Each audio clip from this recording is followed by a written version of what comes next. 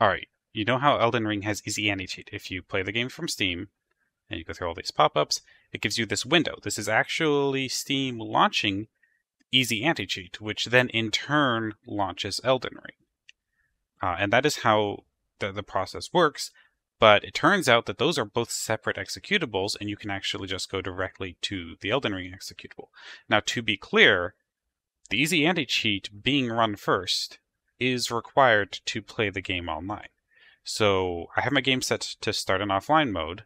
When my game starts, you will see I'll be able to log in online and play online because I started with Easy Anti-Cheat. So if we go into here, say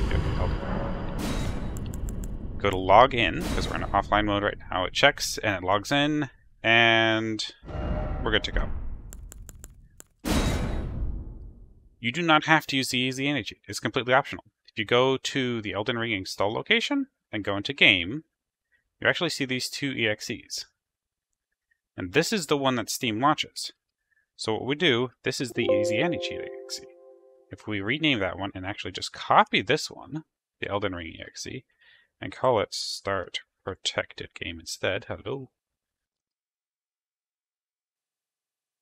Call it Start Protected Game EXE instead, then Steam will launch it directly. And so if we go back over here, it thinks it's still running, which is fantastic. I love that about Steam. There we go. If we go back here and play now, you will see it doesn't give us that little window. It goes directly to the game. And now the game will start in offline mode regardless of whether we have it set to or not. And we also will not be able to log in. But that's fine if you want to run things like mods, or if you want to change the aspect ratio, or if you want to unlock the frame rate. All of this is stuff we can still do. And this is pretty cool that FromSoft has let us do this. You know, they haven't baked the anti-cheat into it.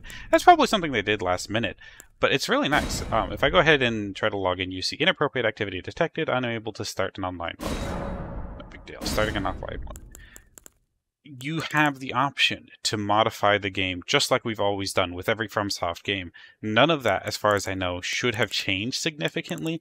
The anti-cheat is just an added layer for people who want to play online and want the protection against the uh, you know, hackers and so forth. Because that has been a problem with the games, admittedly. So this sort of solution actually makes a lot of sense. Um, also makes sense that they're not publicizing it, but you can just do this. It also makes your game, um, you know, load faster and probably perform a little better. Easy anti cheat is pretty lightweight. It's a, it's as far as anti-cheats go, not a bad one.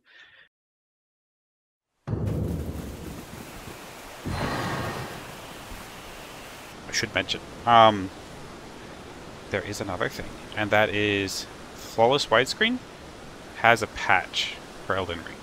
So if you play on a widescreen ultra, ultra wide monitor, um, you can just download Flawless Widescreen if you don't have it already. I haven't used this program in ages, but it just works. Um, download it, install it, go directly to Elden Ring, and you can turn that fix on, and then next time you launch the game, it will be able to do things. In fact, it might have already done it. Yeah.